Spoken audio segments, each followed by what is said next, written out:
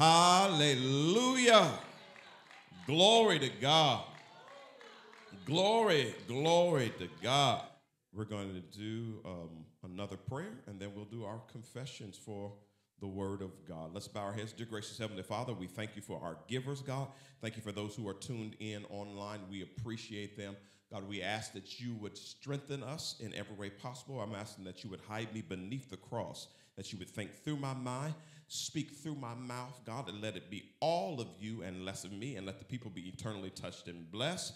And God, we thank you for in Jesus' name, and let all the people say, Amen. We appreciate you. All right, with your Bibles in your hands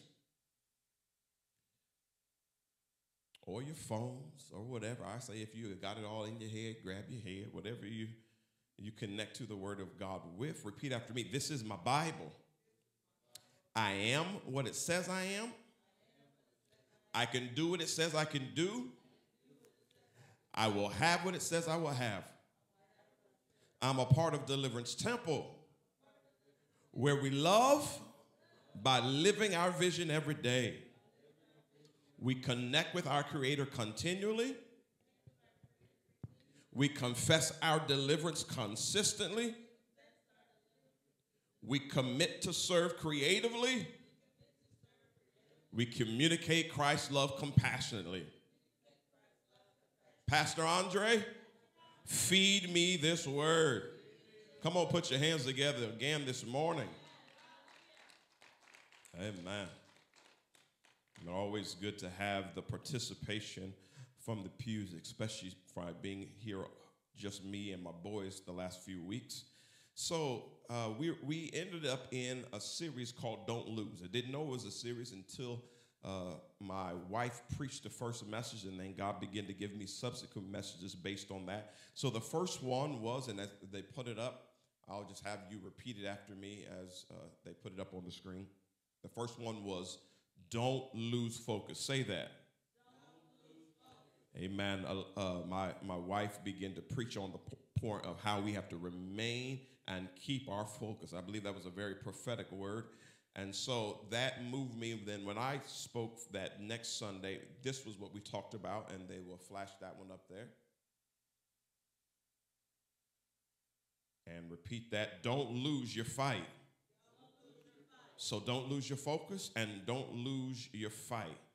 All right. And then last week, and they will show us this one don't lose your footing. So this has been the Don't Lose series. Don't lose your focus, don't lose your fight, and don't lose your footing or your balance. All right, so today we're going to go to Luke 3 and 15. This is where we are going to start. It says, as the people were in expectation, that's, that's beautiful and powerful. That what we don't often understand is that people bring expectation.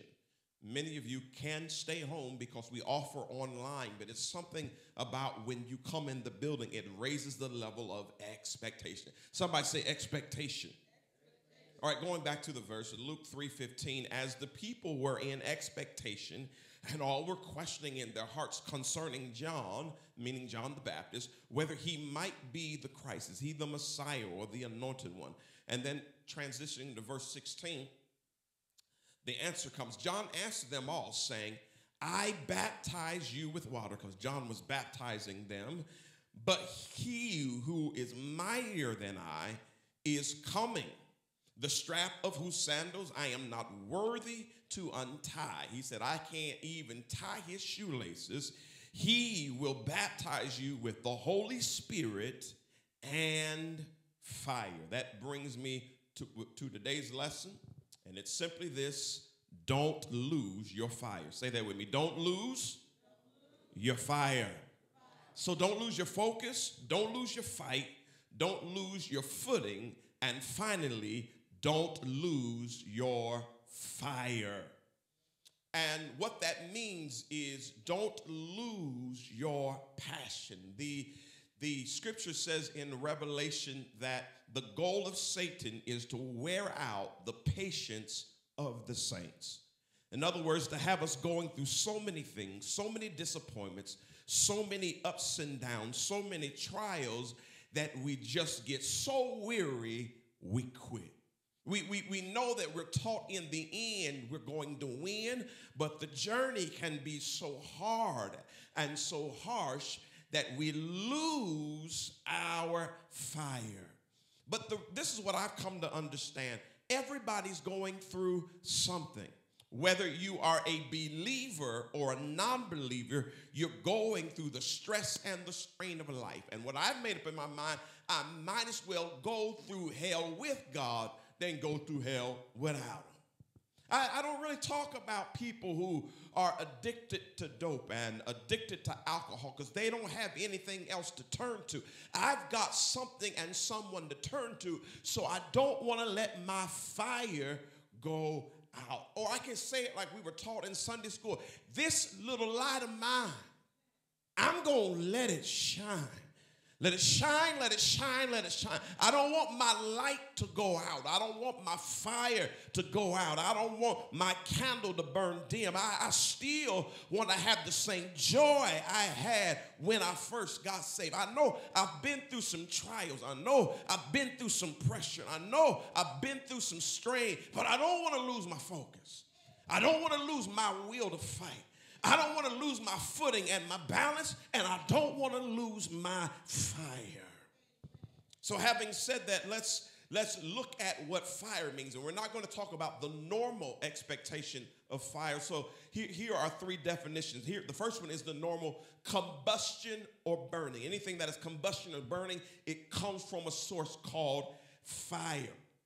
But number two says this a burning sensation in the body.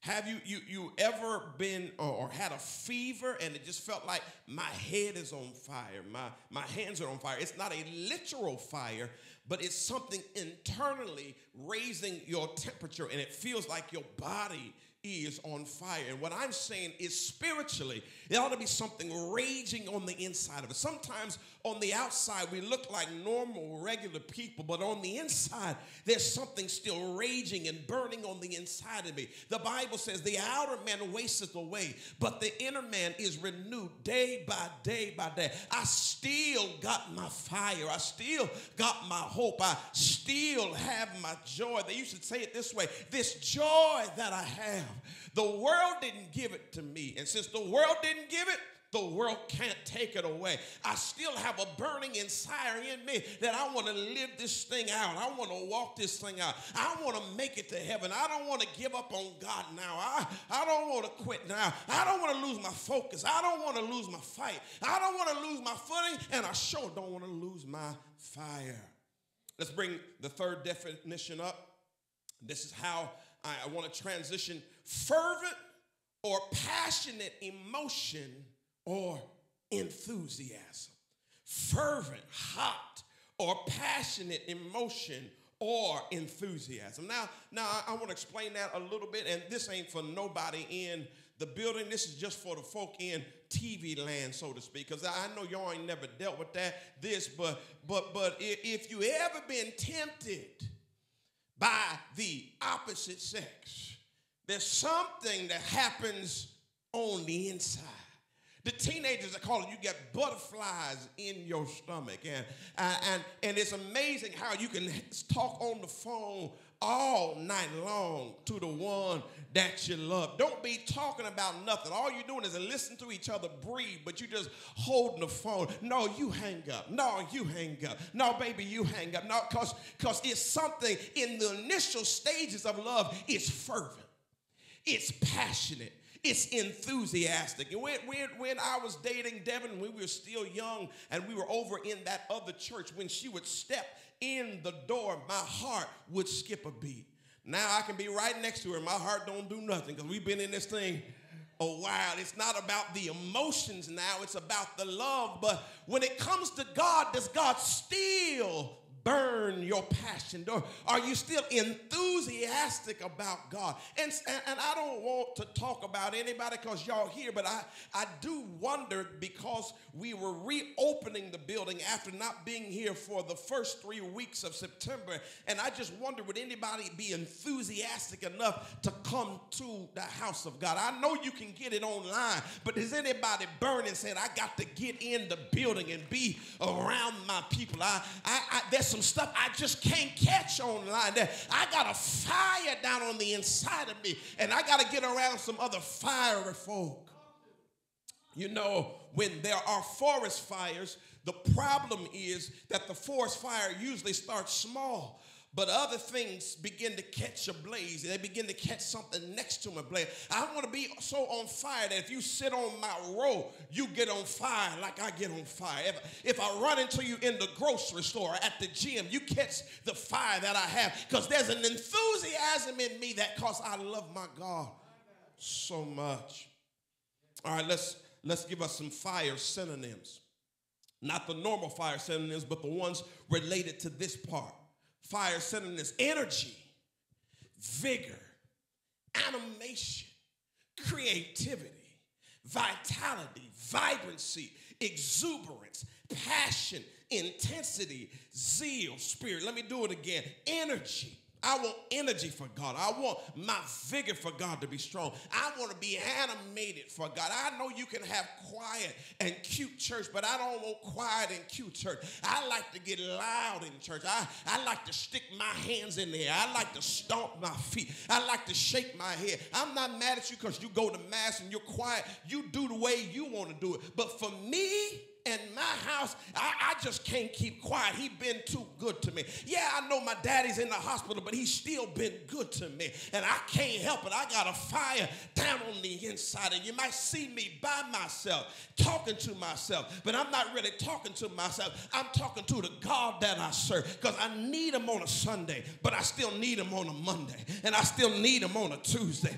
And I still need him on a Wednesday, Thursday, Friday, Saturday. I need him in January, but but I need them in February. March, April, May, June, July, August, September, October, November, and December, and the next year again, because I need my God and I'm going to be excited for my Savior. Energy, vigor, animation, creativity, vitality, vibrancy, exuberance, passion, intensity, zeal, and spirit. That second to the last one is how we're going to start our very first point. Point A is your zeal. So I talked to you on the other, especially when, when we talked about don't lose your fight. We talked to you about the fact that, that Satan is after your faith.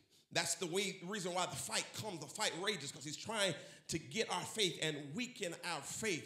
But in the process, he's trying to weaken and ruin our zeal or our passion, because it's easy to just go through the motions of church and just, this is the way we go to church, go to church, without any zeal, without any passion, without any vibrancy. So it's about your zeal.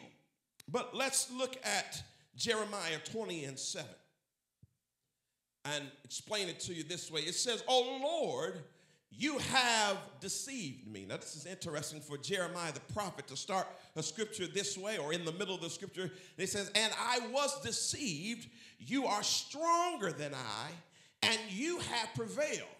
I have become a laughing stock all the day. Everyone mocks me. I'll, I'll, I'll stop and just paint the picture really quick. And what I would like to say, Brother Tommy, is when you start doing things for God, sometimes it feels like God tricked you because you didn't expect it to go this way. When you say yes to God, you assume everything's going to always go the way you want it to go. But sometimes when you say yes to God, that's when all hell breaks out in your life. And many times, if you're being honest, many times you want to walk away and not say, I, I, I want to turn back what I said. I'll give you an example. I remember someone uh, over in the other building. I remember them standing up and in passion and vibrancy, they gave a testimony that I want to go all the way with the Lord. I'm not going to let nothing stop me. Within three months, their husband left them. Couple months or years later that, that the son was in prison. All hell broke out in their life because when you say i'm going with god something's going to challenge you and something's going to test you. And what it'll do it'll test the fire you have down on the inside of you. If you skate through life easy that means satan ain't scared of you. But if you got to go through tooth and nail that means satan's coming after your zeal. He's coming after your fire. And jeremiah was in a situation where he was the only one prophesying the right thing. Every other prophet was a lying. They weren't right. So Jeremiah was the oddball out. And when he would speak what God would tell him to speak, folk would laugh at him. God at one time had him to walk around naked. I don't know if he was literally naked or just down to his under uh, underwear, but he was out in the city streets compelling people, and they was laughing at him. And Jeremiah was like, "This is too hard." God, you tricked me. If I would have known it was this hard, I wouldn't have said yes. So let's look at, at verse 8. So just, you have to know it's not just you that's going through stuff. Some of the great people in the Bible went through things too. Verse 8. For whenever I speak, I cry out, I shout violence and destruction. The problem with Jeremiah, God didn't give him a happy message. He didn't give him a message that everybody liked. God gave him the message that violence is coming. Destruction is coming because they had been sinning and Babylon was coming. It was going to take over the nation of Israel. But didn't nobody want to hear that stuff. So he had an odd message. Let's go back to the verse. Then he says, For the word of the Lord has become for me a reproach and derision all day long. Let, let me be honest, you've gone through some of the stuff you've gone through just because you believe God. If you didn't believe and you wasn't going to be no good and you, you was going to be a cheating man and a cheating wife and you was going to be a pastor that steal from the offering plate, then sometimes life would be easy for you. But when you try to do it right, it gets kind of hard. Some of y'all single women know you can just get a man to warm your bed, but you want a real man. So you go through being lonely. You raise kids by yourself. It would be easier to do what everybody else is doing, but something in you says, I got to do it this way. And when you're right, ready to quit, let's look what the next verse says. Verse 9. Jeremiah said it uh, this way If I say, I will not mention him, if, if I say I'm not talking about God anymore, or speak anymore in his name, there is in my heart as it were, a burning fire shut up in my bones. And I am weary with holding it in, and I cannot. I just can't. That's where we get, the King James says, it's like fire shut up in my bones. When I try to walk away from God, I find myself t- still telling people, God is a good God. There's times I've got up and preached and said, God is good all the time. And all the time, God is good. And the thing I was going through wasn't good, but it's like fire shut up in my bones. I, I just can't back up off of this. I, I just can't quit. I, I just can't stop praising his name. I just can't stop saying hallelujah. Yes, I may be sick, and yes, I may be broke, and yes, I may be depressed, but there's something on the inside of me that tells me it won't be like this forever. And I get up every day and I say, This is the day that the Lord has made. Yes, I'm worried, and yes, I'm concerned, but there's a fire inside of me that won't let me quit. I'm too far to quit. I've come too far to throw in the towel. There's something in me that just won't let me let this thing go. I still believe. I'm hurting, but I still believe. I'm broken, but I still believe. I'm crying, but I still believe. And it's not because of me, there's a fire on the inside of me. Satan's coming after that fire. He's trying to blow on your fire. But dumb dodo Satan doesn't know that when you blow on fire, it sometimes gets bigger. and so you try to blow me down. You said, I'll huff and I'll puff, Andre, and I'll blow your house down. I'll huff and I'll puff, Deliverance Temple, and I'll blow your house down. But when you blew on me, you stirred something in me. I'm ready not to lose my focus. I'm ready not to lose my fight. I'm ready not to lose my footing, and I'm ready not to lose my fire. Amen. Let's let's let's move to Psalm 69 and 7. And The psalmist says, For it is for your sake that I have borne reproach. That dishonor has covered my face. The reason why I'm going through what I'm going through is because I said I'm going with God. There, there's some of y'all know that when you said for sure you was going with God, folk laughed at you. They talked about you. As long as you was drinking the way they was drinking and doping the way they was doping and sexing the way they was sexing and lying the way they was lying, they liked you. But the moment you try to do better, see, t- some people, and it's not just black people, but some people are like crabs in a barrel. Is if you go higher than me, I just got to pull you down. That's why they say they can cook crabs without a top on the pot because when the hot and the heat gets in and they try to escape, the one that's escaping gets pulled back down by the other one. So, yeah, because I tried to do good, because I tried to step out on faith and start a business, because I tried to live a celibate life, all this stuff is coming at me. And God, it seems like it's your fault I'm going through what I'm going through. So it wasn't just Jeremiah, it was the psalmist here that felt the same thing. But let's look at what verse 8 says. I have become a stranger to my brothers and an alien to my mother's son. I, I, I will explain this by what Jesus said when they talked about him at some point in time. They, they said, your, your mothers and your brothers are outside Jesus. Jesus was inside teaching, and he said, Who is my mother? Who is my brother? My, my, my, my mother and, and father is to do the will of God. And it comes a place in your life where you say, Listen, family, I love you, but you can't drag me down.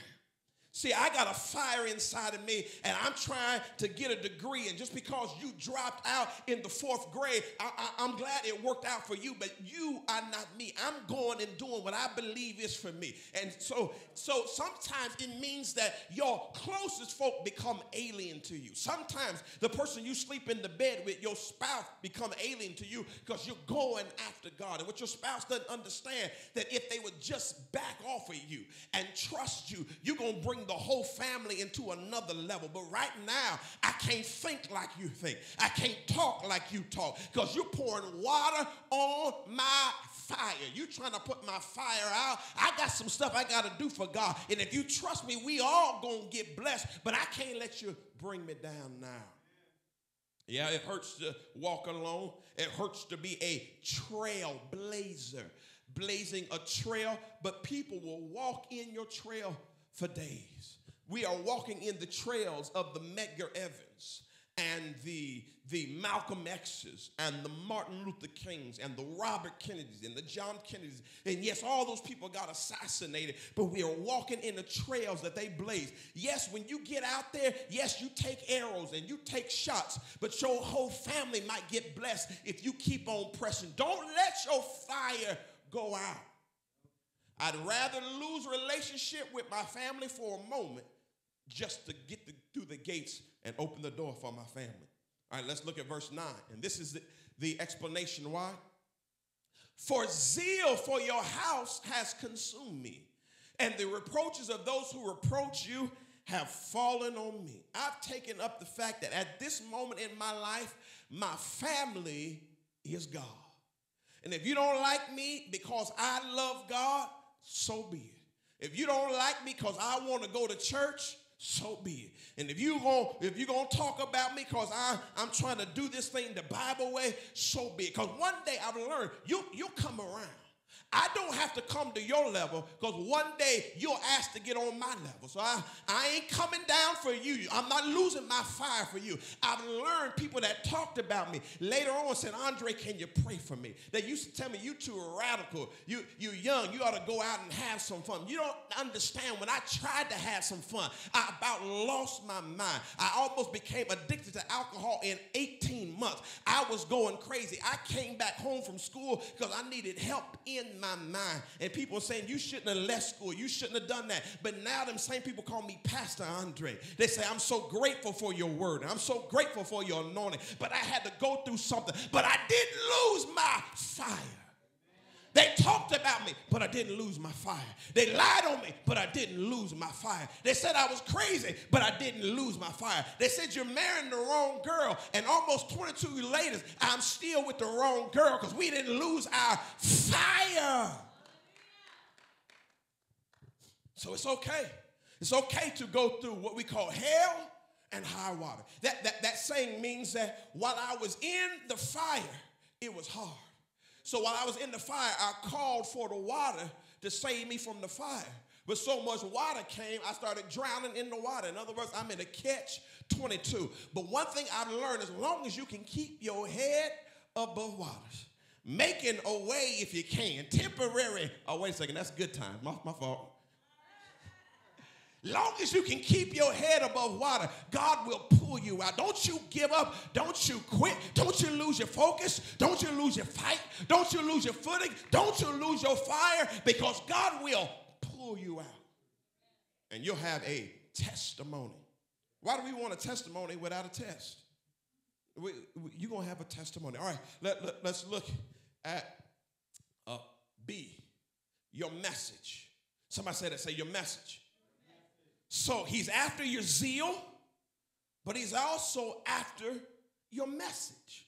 What does that mean? Uh, uh, uh, before I, I, read that scripture, I'll go back to what I just said uh, about testimony. We, we, we like to say this it takes a test to have a testimony, but sometimes it takes mess to have a message.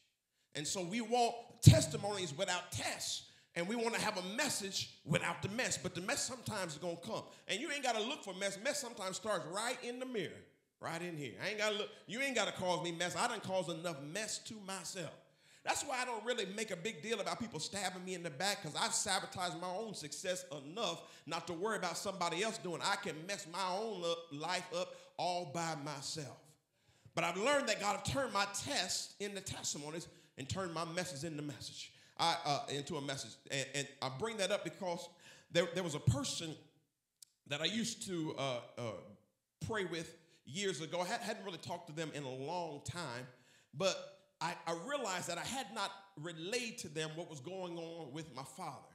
So I was like, I, I probably should, should tell them. I was like, I don't want to just text them with bad news because I haven't talked to them in a long time. Sometimes the people that are in your life to pray with, it's just seasonal. You don't always stay connected to those people forever. So this is one of those persons that it was seasonal. And I just said, oh, by the way, this is what I'm, I'm going through. I still believe, but I just want to know what I'm going through. The person responded back to me and said, Oh, I, am so sorry. I wish I would have known early, but I understand we don't communicate like that anymore. But they made the statement said, But your dad's going to have a testimony. He said, didn't say if they bring him out, but when your dad comes out, he gonna have a testimony. And I thought about, it, yeah, yeah, yeah, yeah, yeah. We gonna we gonna go up in arms when he finally does get a chance to hold the mic and preach again. We he gonna have a testimony. He already has one of them when he got healed of rheumatoid arthritis, when they told him he'd be crippled for the rest of his life and he walking around. He already has it, but sometimes you got to go through things to get a greater, deeper, deeper testimony. And it's about your message. All right, so let's let's bring Psalms 104.1 up, 104 and 1. And I, I will say this that when I say this, your message, I'm not just talking about pastors and preachers and people that hold the mic. All of you have some message. The, the, the, word preach means to proclaim. We all can proclaim. Not everybody's in the fivefold ministry gift, but all of you have a message. Your life is a message. When you go through hell and come out on the other side, your life is a message. And Satan is after your zeal, he's after your message. All right, let's look at this verse. Oh Lord my God, you are very great. Bless the Lord, oh my soul. Oh Lord my God, you are very great. You are clothed with splendor and majesty. Though, so this psalmist is praising the Lord. The reason why I keep saying psalmist because David wrote most of the psalms, but he didn't write all of them. So I'm not sure who wrote this one. So I'm saying the psalmist. It could be David, but it, it could be someone else. So Psalms 104 and 2 says this. He's still talking about the greatness and the majesty of God, covering yourself with a light as with a garment stretching out the heavens like a tent. When you see the beautiful heavens, God rolled them out like a tent. He's just, he's just majestic. He's just great. That's why I don't want to lose my fire because I, when I die, I want to see this great one who created this universe and put breath in my body. And just last night, me and, and uh, Dylan and my family, we were actually in Ohio, but me and Dylan were together and we were looking up at the stars. And he said that's either the North Star or that's Jupiter because of the season that we're in. So we can look up in the sky and we can see the magnificence of God and how everything's put in order and how the sun rotates around the earth and somehow we don't get burned up. God is majestic. I want to meet that God one day. I, I don't want to quit now. I know I, I want to know how you flung the morning stars together. I, I want to know how you caused the mountains to come up and how you put life in the deepest parts of the ocean and, and how thunder will crackle through the sky and lightning will part the sky. I got some stuff I want to know. I want to know about the rainbow. I want to know how you put breath in my body and how you created my brain and how my brain tells my, my, my, my hands to move and my mouth to talk. There's some stuff I, I can't quit now because I got some rewards over there. Yes, I have some rewards here, but nothing can compare to what we'll get over there. And I don't want to die and lose out on God. You ought to be the same way. You ought to make up in your mind when my pastor preaches my funeral, he ain't got to lie about me. He ain't got to get up and say, I hope he makes it and I hope she makes it. No, no, no. When my pastor preached my funeral, yeah, they're going to cry, but somebody's going to rejoice because I crossed over to the other side because I didn't lose my focus. I didn't lose my fight. I didn't lose my footing. And ultimately, I didn't lose the fire I have inside for God. Let's look at verse 3 telling some more greatness about him. He lays the beams of his chambers on the waters. He makes the clouds his chariot. He rides on the wings of the wind. Just talking about the majesty of God. But the next verse takes a turn that you wouldn't expect because all the psalmist is talking about is the greatness of his God. But then this next verse makes a turn and points to his creation, not the, the normal creation, but his creation, his living creation, not the animals, but humans. We are the apex of his creation. This scripture talks both about his angels and his human beings. 104 and uh, 4 says this He makes his messengers winds, his ministers a flaming fire. Wait, wait, wait a second. Part of the greatness of the universe is you and I because he puts his message on the inside of it. First of all, it's talking about the, his messengers, the winds, it's talking about angels because the word angel means messenger, but it talks about his ministers, which means those who serve him. We are flames of fire. And that's why the devil wants to pour water on us. So let me say it like I said it when I was young. He, he's trying to throw salt in our game. The, de- the devil trying to throw salt on our swag. He, he's trying to make us quit because he knows we are flames of fire. And what he's afraid of is we going to burn up all his junk. We're going to burn up all his stuff. We, we're going to burn up all the mess he's trying to do in the world. Because when we serve God, we're flames of fire in the earth. And all the things that the devil is trying to do, we burn them up and we tear them down. You ever heard the saying, I'm going into the enemy's camp and I'm taking back everything he stole from me. But I need to let you know we don't even have to go into his camp. Because of our flaming fire, we can burn stuff where we are. I can stand right here here and point to Arizona and speak the word and things can happen. I can call stuff to happen in Australia. I can call stuff to happen in Iceland. I got power in me. The Bible says I can pray thy kingdom come, thy will be done and give us this day our daily bread. And the devil doesn't want us to know the power that we have. We are flames of fire. He's made all kinds of great things in the universe, but the greatest thing he ever made was you and I. And he didn't die for the stars, he didn't die for the ocean. He didn't die for the mountains because the Bible says that this earth will pass away. We're going to get a brand new earth. This, is this is just borrowed earth. But there's one thing that not going to pass away. He said his word won't pass away. And he's put his word inside of us because the only thing he ever planned on being eternal was him and his human. So that's why the devil hates us so much. Let, let, us look further. Let's look at De- Deuteronomy 9 1.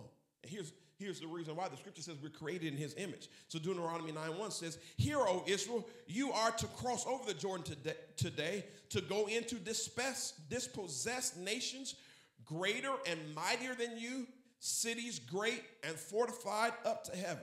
So the, the message is you're going to face some enemies. You're going to face some giants. You're going to face some trouble. But the reason why I have called you to do this is because of verse 2 and 3. Verse 2 says, A people great and tall, the sons of the Anakim, which the sons of the Anakim are the giants.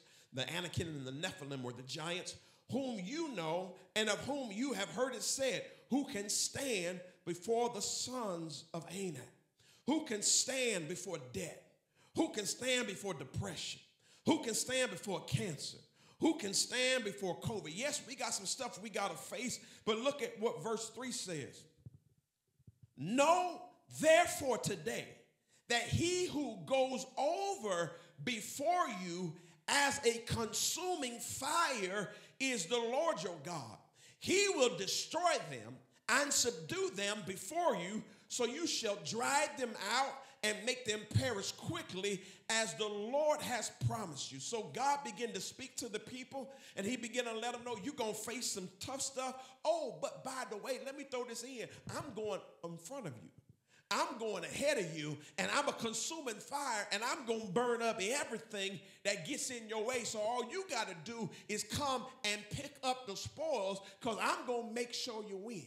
Now, here, here's the thing that was the Old Testament. So in the Old Testament, they didn't have the relationship with God that we have in the New Testament. The Old Testament is the Old Covenant, the New Testament is the New Covenant. In the Old Testament, they had to go through somebody to get to God. In other words, if Brother Tommy was the priest, I couldn't talk to God. I had to talk to Tommy so Tommy could talk to God for me.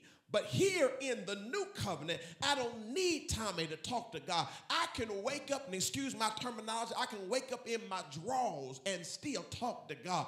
I don't need somebody to go before me. And so here's the great thing no longer is God going before me and being the consuming fire, God made me a consuming fire because God put his spirit down on the inside of me. And the first verse I read said, John will baptize with water, but there's coming somebody that's going to baptize with the spirit and with fire. So when I walk out in the world, it don't look like it because things don't turn around right away. But when I walk out in the world, I'm burning some stuff up. And you better connect to me. And you better love me. And you better walk with me. Because when I step in the earth, things are burning up around me. Because God is working through me. God is for me. God is by me. God is beside me. But God is in me. Working out. Just last Sunday, as we left the church, uh, I, I, was, I was driving in. I passed Washington, seeing everything was blocked off on Washington. And I said, Oh, yeah, I want to go to the Washington Street Festival. That's something I did when I was young. And my boys was like, What is that? And they don't know what it was. And I was like, Yeah, come on, go. And Drayden was like, I don't want to go. I was like, Come on and go whether you like it or not, we're gonna walk in the Washington Street Festival. So, so we were there, we bought a, a, little thing, and then the last thing, right before we were going to leave, we sat down at this table and we were eating an elephant ear, getting ready to, to go. And in about two minutes, somebody collapses next to us, just on the right side of us, they collapse and fall out. And everybody said, Go get the paramedics. And, and, and, and, listen, I didn't run over there to give them CPR. I didn't do anything, but I stood where I was and I immediately began to pray. And it just dawned on me that's why you stopped at the Washington Street Festival. And that's why you sat right where you sat, right before you were getting ready to leave, because I knew what the devil was going to try to do to that man. And the man passed out. And before the paramedics could even get there, before they could even call 911, he opens his eyes and he says, I'm okay. And everybody says, No, no, stay right there. He said, No, I'm okay. And he gets up on his own and sits back down. And God told me, That's why you were there, because you are consuming fire. We won't know till we get to heaven. Everybody that was blessed just because they were connected to us, because God uses us as a conduit to work through us to touch the world. So don't you let the devil lie to you. Don't you let the devil tell you you're no good. You've got a fire burning inside of you. And yes, it's hard to live this life, but guess what? The reward is going to be amazing. There's some family members that don't like you, that don't know that they're living because of you. They talk about you, but they don't know the only reason why breath is still in their body is because God is using you to burn up stuff around. And if you live long enough, someone will come back and say, I'm sorry for what I said. And if they don't say, I'm sorry, they'll just start treating you different. I remember I had somebody close to me steal some money from me, and I knew they stole some money from me. And, and it wasn't no chump change, it was a lot of money. But but God didn't allow me to do anything. It took a while for me to forgive. I didn't forgive right away overnight. It took me a while, Brother Tommy. But later on in life, that same person, they never said, I'm sorry, but they just start giving to me. They just start blessing me here and there. And God knows how to make your enemies your footstool. He knows how to turn stuff all the way around. You just don't let your fire go out. God will repay everything. Scripture says, Vengeance is mine, saith the Lord. All right. C. Point C. This is our third point. C. Your prayer. So he's after your zeal or your passion. He's after your message. But at the end of the day, in your message is your prayer life. So he's after the effectiveness of your prayer. Not just the effectiveness of your prayer, he's trying to get you so low down, so bogged down that you can't even pray. You don't even want to pray. When folk talk about praying, you get irritated. Doesn't no, forget that. God ain't hearing me. That's what the devil wants you to believe because he wants to shut your mouth. Because in your mouth comes your zeal, comes your message, but it comes your prayer. Let's let let's uh let, let, let me say this just real quick before we go go into this the scripture.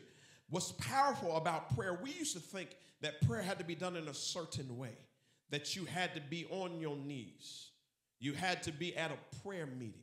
But we learn when you have God in the fire inside of you, you can walk and pray. You can drive and pray. Please don't bow your head and close your eyes while you're driving. No, baby, keep your eyes wide open, but you can pray with your eyes wide open. When I was sitting beside the man eating my elephant ear, I, I, I, didn't get on my knees and say, Oh, Father God, help. No, I was just sitting there and God was doing his work. And when something happened, immediately I began to go into prayer. God fix, God help, God touch. When I'm driving on the road and there's an accident on the other side of me, I don't have time to stop and turn around, but I say, God fix, God save, God deliver. Listen, your prayer is important, your prayer is powerful. And if you don't have your fire, your prayer is weak. So the devil don't want you praying because you mess up his plans. I like to say it this way, and sometimes we, we don't think of it this way, but Satan is not omnipresent like God, so he can't be everywhere at the same time.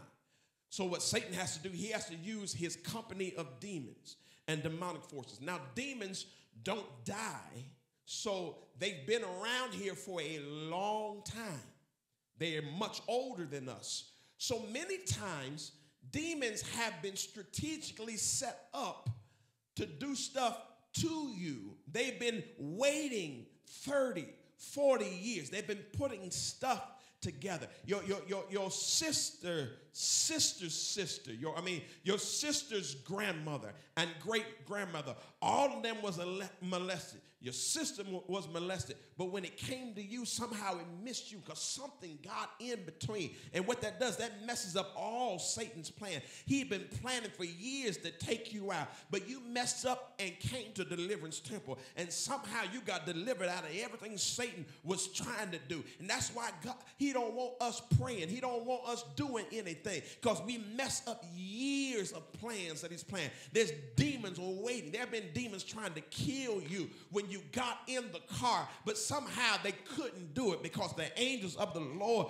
protected you. You done text while you was driving. You done ate while you was driving. You put on makeup while you was driving, and somehow you still made it to your destination. You fell asleep while you was driving, and the devil sure enough knew you was gonna die, but somehow God stepped in and worked it out because somebody was praying for you. So what Satan hates, he hates a praying church because you mess up his plans.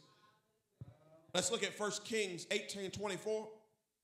Not going to give the entirety of the story, just going to call to your remember something that happened with Elijah. 1 Kings 18 24 says, And you call upon the name of your God, and I'll call upon the name of the Lord.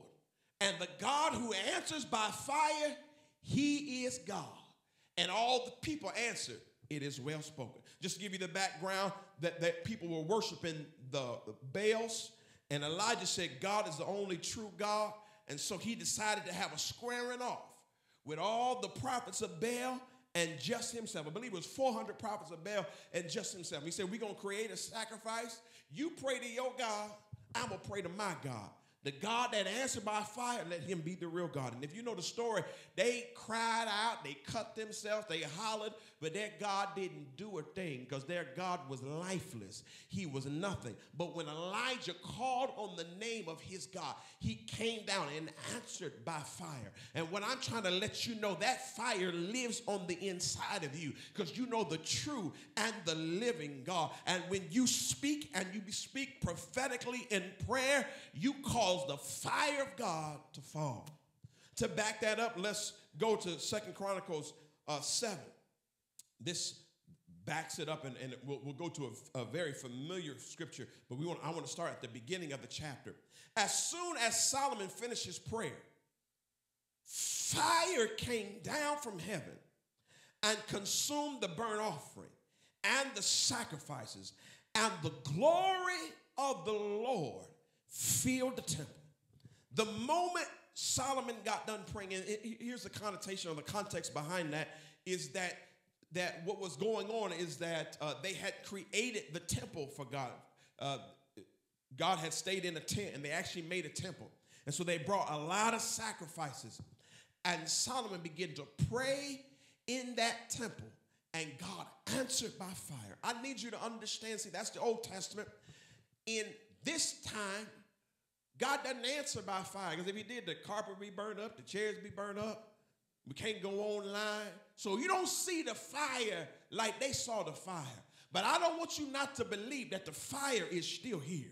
When you praise, the fire falls. When you pray, the fire falls. When you give, the fire falls. You may not see the fire, but I guarantee you, them demons see the fire. And one place the fire falls, it falls on us because it burns up the sacrifice. And right now, we are the living sacrifice. And sometimes when we're ready to quit up, what burns is the quit in us. Sometimes the quit in you burns, the complaining in you burns, the, the all the backsliding, the falling back burns. Because when you begin to pray and you begin to connect with God, and God and people begin to pray for you. And right now, we've started up our 24 hour prayer again. The fire falls down. Let's look at verse 11, jumping down to verse 11.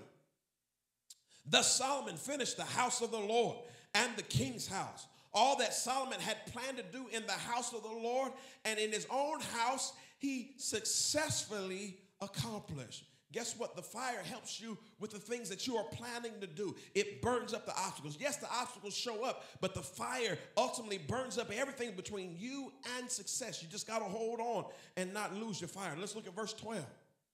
This is going to bring us up to a very familiar verse. Then the Lord appeared to Solomon in the night and said to him, I have heard your prayer and have chosen this place for myself as a house of sacrifice. Remember, this is Old Testament. It was a literal temple. They went from a tent, and what we mean by tent, they had to pick up the tent everywhere they went, and they had to change. But once they got in Jerusalem, they actually built a temple that people can come in, like deliverance temple. It was it was bigger than this, but a place where people can come.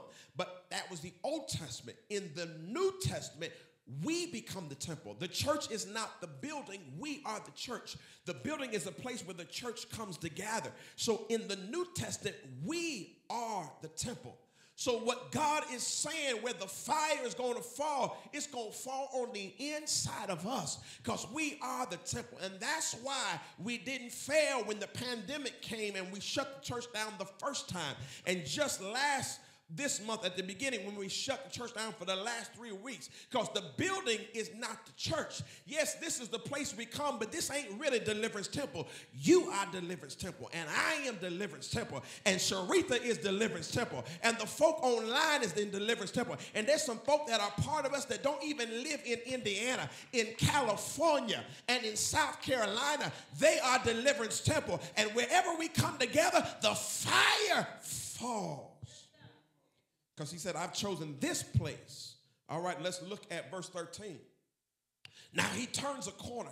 That's going to get us to the familiar passage of scripture, and you'll probably catch it while I go there. He makes this statement. I got to give you just a little teaching lesson after I read it. It says, When I shut up the heavens so that there is no rain, or command the locust to devour the land, or send pestilence among my people.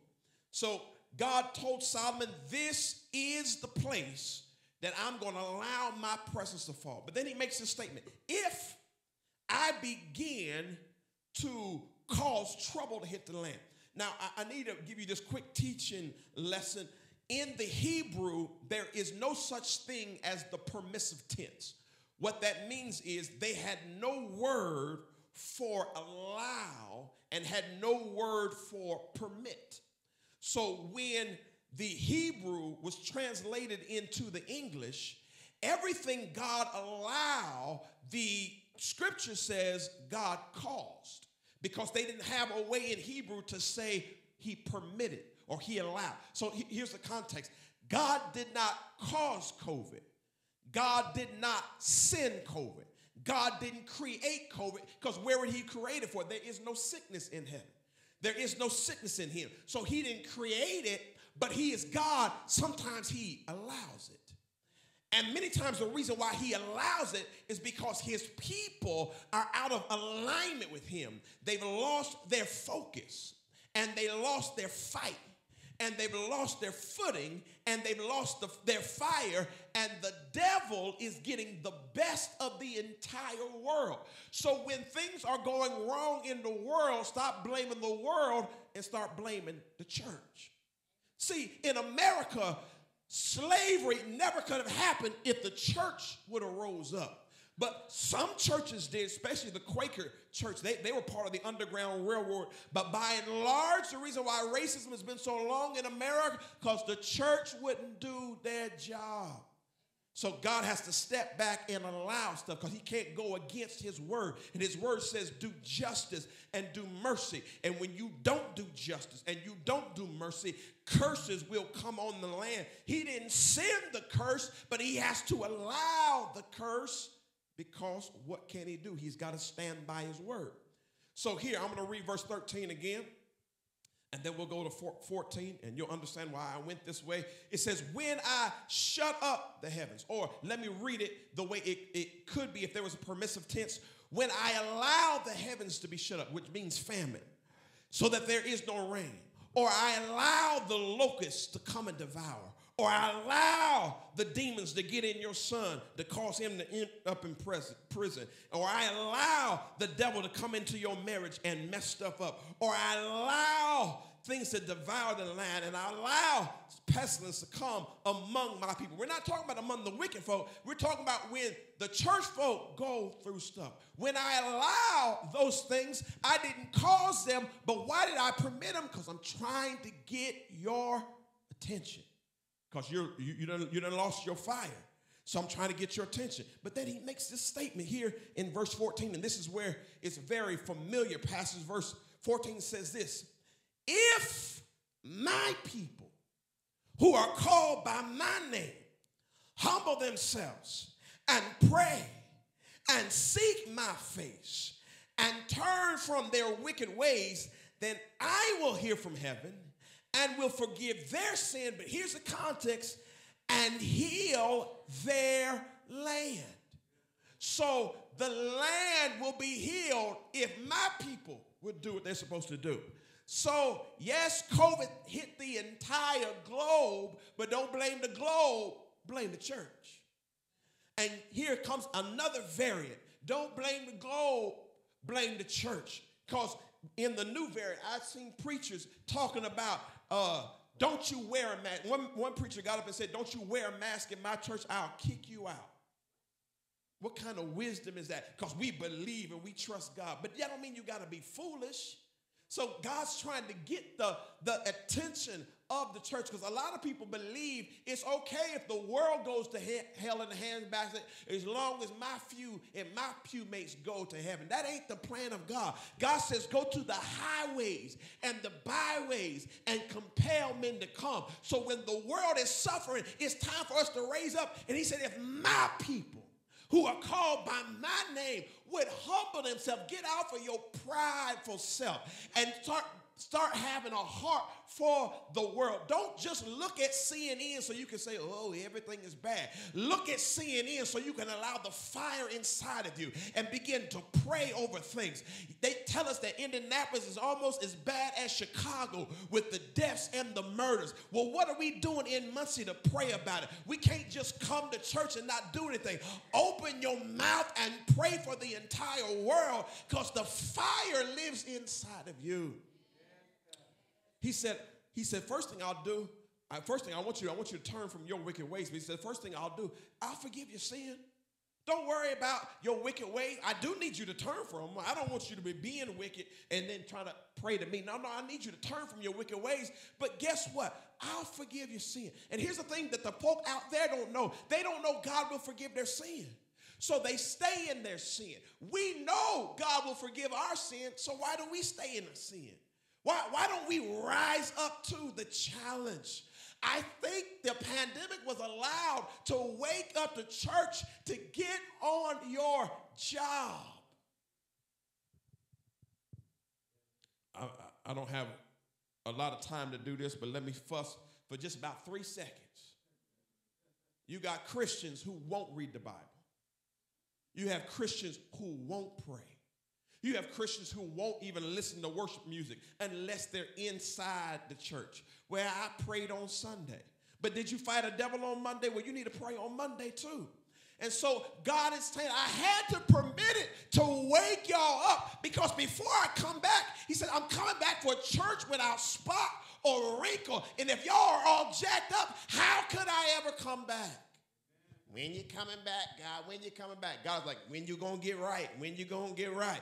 When you gonna allow the fire to rise inside of you? Because you, we are working together. I told you to pray, my kingdom come, my will be done. I told you to pray that. I told you that whatever you bind on earth is bound like it's bound in heaven. Whatever you loose on earth is loosed like it's loosed in heaven. So stop, stop rubbing your, your, your lips and going around with with a pity party and get on your post and get on your job and call heaven down for this world.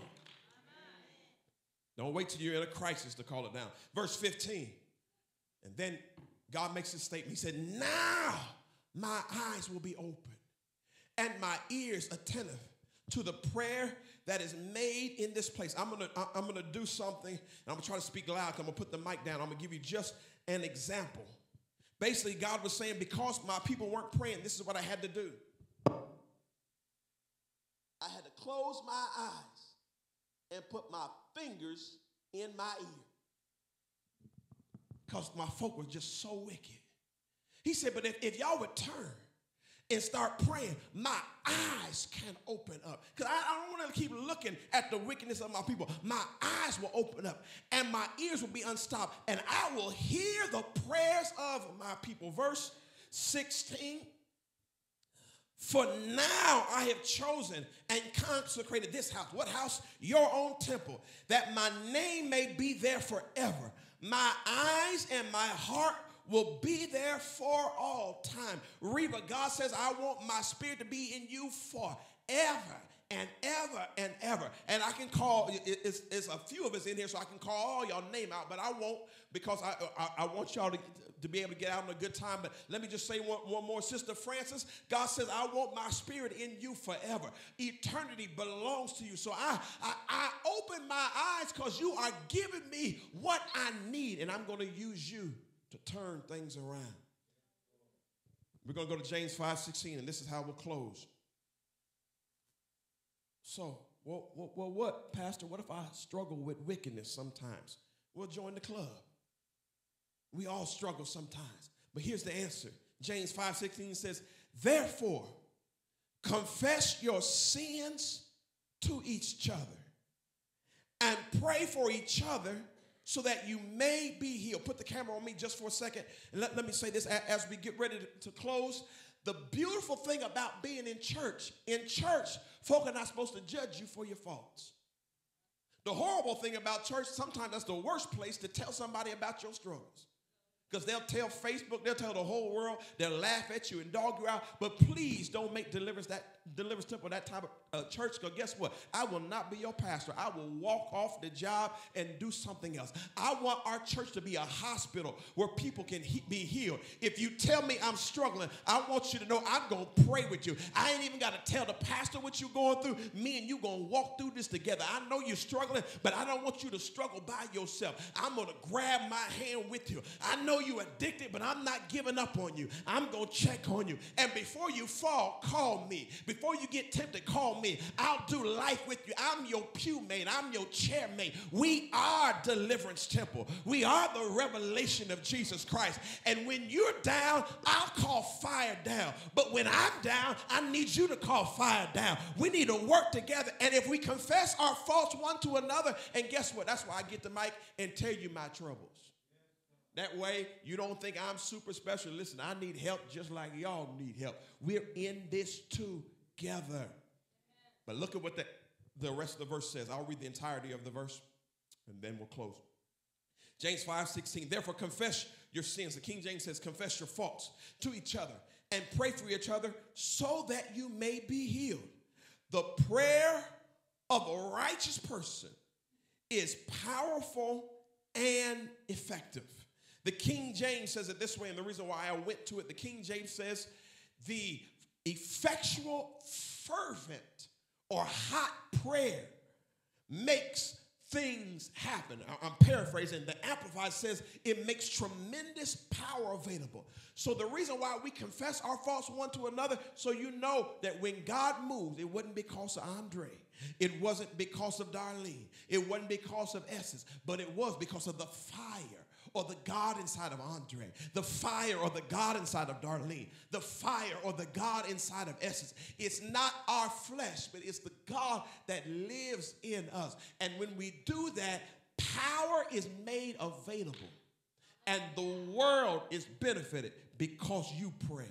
Your neighborhood is benefited because you pray. Your family is benefited because you pray. Your children are benefited because you pray. Your job is blessed because you pray. Satan wants to get your zeal or your passion. He wants to get your message and shut your mouth. But ultimately, he wants to shut down your prayer. But guess what? We're not going to lose our fire because there's power in our prayer. Fervent, hot, fireful power in our prayer. Come on, let's put our hands together.